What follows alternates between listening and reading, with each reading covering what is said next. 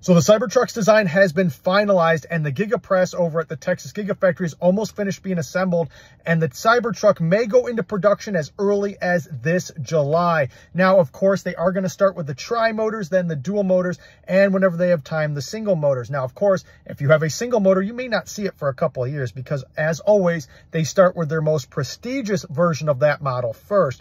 Also, keep in mind that they just announced that they are going to add a scratch free resistant coating to the Cybertruck, which will help keep all the scratches off of the metal. This is absolutely a beautiful thing. And this morning, the stock is up almost 10%. It is soaring. The prices are down for the next few months. So if you want to get one cheap, now's the time to get it because not only are the prices lower, but it's also going to give you the $7,500 rebate from the EV tax credit next year. So this is absolutely a beautiful thing. Ford is actually in serious trouble right now. Toyota, VW, because everybody is canceling their pre-orders for those and getting a Tesla instead. Because why would you want to get a Honda Civic for 80,000 when you can get a Ferrari for 35? Let's get real for a minute. Everybody's going to go after the Tesla. Ford made an announcement stating that no, stop asking us if we can lower our prices as well for the next few months. We are already losing money in our EV department. They cannot compete with Tesla. Tesla currently owns 12% of the industry. By 2025, they may own as much as 20 to 25%. It is absolutely